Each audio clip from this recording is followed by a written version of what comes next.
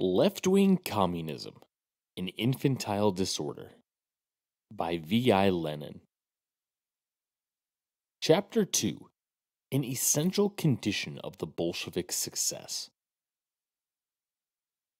It is, I think, almost universally realized at present that the Bolsheviks could not have retained power for two and a half months, let alone two and a half years, without the most rigorous and truly iron discipline in our party, or without the fullest and unreserved support from the entire mass of the working class. That is, from all thinking, honest, devoted, and influential elements in it, capable of leading the backward strata or carrying the latter along with them. The dictatorship of the proletariat means a most determined and most ruthless war waged by the new class against a more powerful enemy, the bourgeoisie, whose resistance is increased tenfold by their overthrow, and whose power lies not only in the strength of international capital, the strength and durability of their international connections, but also in the force of habit, in the strength of small scale production. Unfortunately, Small scale production is still widespread in the world, and small scale production engenders capitalism and the bourgeois continuously, daily, hourly, spontaneously, and on a mass scale. All these reasons make the dictatorship of the proletariat necessary, and victory over the bourgeoisie is impossible without a long, stubborn, and desperate life and death struggle which calls for tenacity, discipline, and a mm. single and inflexible will. I repeat, the experience of the victorious dictatorship of the proletariat in Russia has clearly shown, even to those who are incapable of thinking or have had no occasion to give thought to the matter, that absolute centralization and rigorous discipline of the proletariat are an essential condition of victory over the bourgeoisie. This is often dwelt on. However, not nearly enough thought is given to what it means and under what conditions it is possible.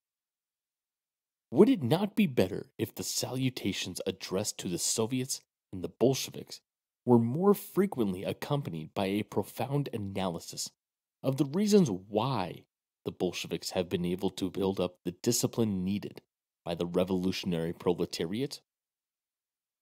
As a current of political thought and as a political party, Bolshevism has existed since 1903.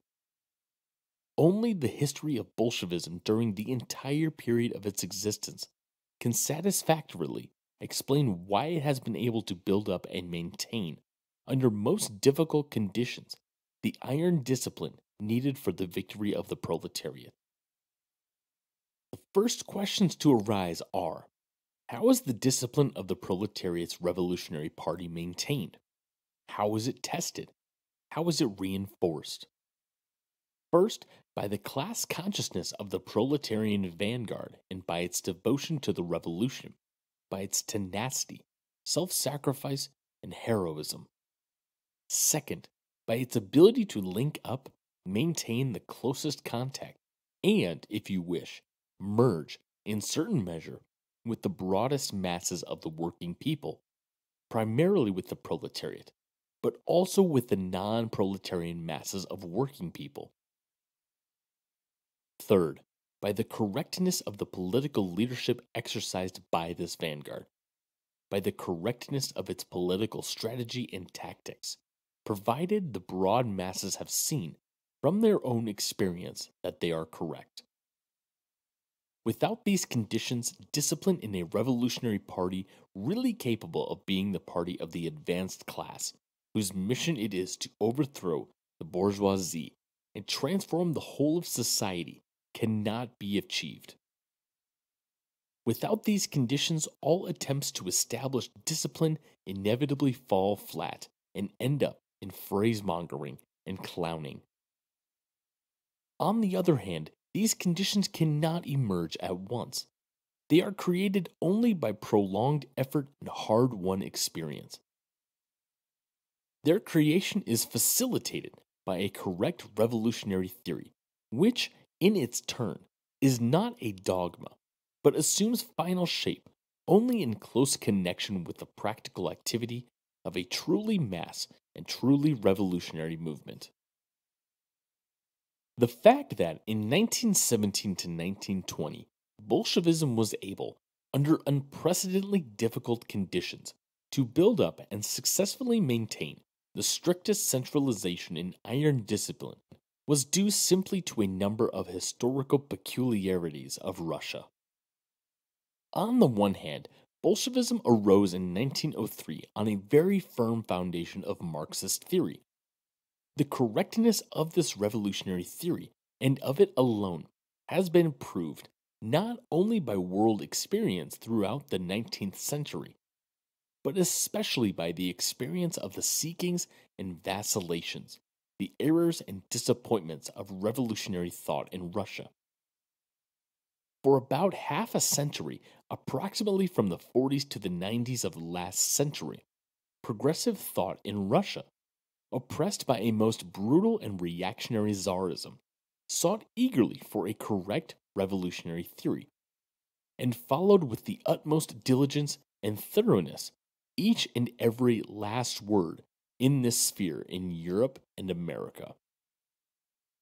Russia achieved Marxism, the only correct revolutionary theory, through the agony she experienced in the course of half a century of unparalleled torment and sacrifice, of unparalleled revolutionary heroism, incredible energy, devoted searching, study, practical trial, disappointment, verification, and comparison with European experience. Thanks to the political emigration caused by Tsarism, revolutionary Russia in the second half of the 19th century acquired a wealth of international links and excellent information on the forms and theories of the world revolutionary movement, such as no other country possessed. On the other hand, Bolshevism, which had arisen on this granite foundation of theory, went through 15 years of practical history, unequaled anywhere in the world in its wealth of experience. During those 15 years, no other country knew anything even approximating to that revolutionary experience, that rapid and varied succession of different forms of the movement, legal and illegal, peaceful and stormy, underground and open, local circles and mass movements, and parliamentary and terrorist forms. In no other country has there been concentrated in so brief a period such a wealth of forms, shades, and methods of struggle of all classes of modern society, a struggle which, owing to the backwardness of the country and the severity of the czarist yoke, matured with exceptional rapidity, and assimilated most eagerly and successfully the appropriate last word of American and European political experience.